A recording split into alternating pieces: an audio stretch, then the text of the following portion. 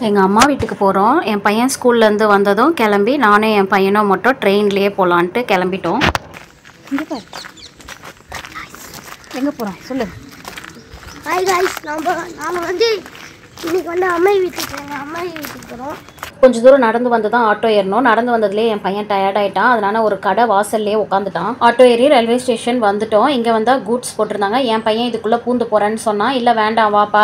நம்ம இதை தாண்டியே போயிடலான்னு சொல்லி கொஞ்சம் தூரம் போய் அதுக்கப்புறம் ட்ராக் கிராஸ் பண்ணி வந்தோம். ரயில்வே ஸ்டேஷன் வந்துட்டோம். இன்னும் ட்ரெயின் வரல. ட்ரெயினுக்காக வெயிட் பண்ணிட்டு இருக்கோம். ட்ரெயினில் ஏறின உடனே சம்சா வித்துட்டு இருந்தாங்க. அதை பார்த்ததும் என் பையன் சம்சா கேட்டான்.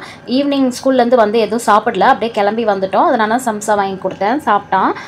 சாப்பிட்டுட்டு சும்மா விளையாடி விளையாடிட்டு இருந்தான் ஒரு பேப்பரில் இது மாதிரி கப்பல் மாதிரி செஞ்சு ஸ்கூல்லேருந்து எடுத்துகிட்டு வந்திருந்தான்.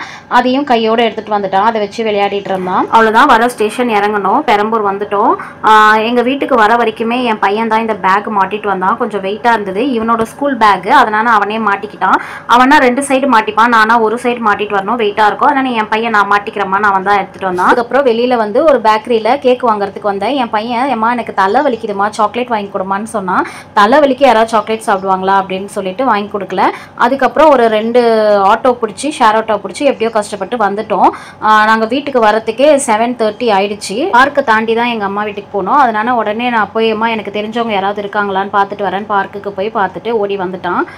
ஃபைவ் தேர்ட்டிக்கு எங்கள் வீட்டில் கிளம்புனோம். இங்கே வந்து சேர்கிறதுக்கே செவன் தேர்ட்டி ஆகிடுச்சு பயங்கர ஒரே தலைவலி. எனக்கும் தலைவலிக்குது என் பையனுக்கும் தலைவலிக்குது. பேக் வேறு வெயிட்டாக இருந்தது. அதை மாட்டிட்டு வரதுக்குள்ளே டயர்ட் ஆகிட்டோம் உள்ளே வந்த உடனே ஃபஸ்ட்டு வாங்கிட்டு வந்த கேக்கை என் பையனே பிரித்து அவன் தான் ஃபஸ்ட்டு சாப்பிட்டான். அவன் எப்போ ஈவினிங் சாப்பிடுவான். இன்னைக்கு ஈவினிங் சாப்பிடாமலே கூட்டிகிட்டு வந்தனால ஒரே தலைவலி வேறு வந்துடுச்சு குழந்தைக்கு. பேக் கூட அவன் தான் தூக்கிட்டு வந்தான்.